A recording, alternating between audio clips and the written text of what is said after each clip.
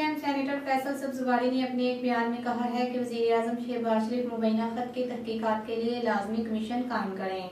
अगर कोई साजिश हुई तो कमीशन इसकी तहकीकत करें।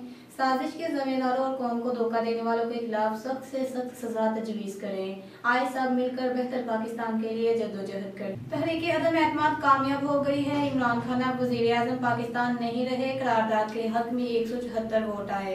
मुनहरिफ अरकान ने वोट नहीं डाला। पार्लियामेंट ने इमरान खान को वजी अजम के अहदे से फारिग कर दिया। अपोजिशन ने वजी अजम के खिलाफ अदम अतमाद की तहरीक जमा कराई थी।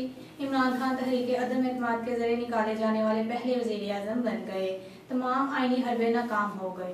तर्जुमान P D M Hafiz Ahmadullah ने कहा है कि असद कैसर रियासत का डिफेंडर नहीं, असद कैसर इमरान नियाजी का टाइगर साबित हुआ। Asad Qaiser custodian of house नहीं कस्टोडियन ऑफ़ बनी वाला साबित हुए। असद कैसर अपने हल्फ के मुताबिक इमरान नियाजी नहीं पार्लियामेंट के स्पीकर थे। तहरीक अदम एतमाद की कामयाबी की खुशी में मुल्क के मुख्तलिफ़ शहरों में जश्न मनाया गया, आतिशबाजी रैलियाँ निकाली गई।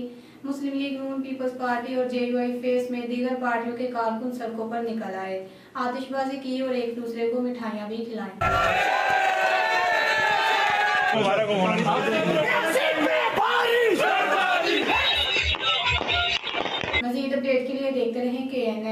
like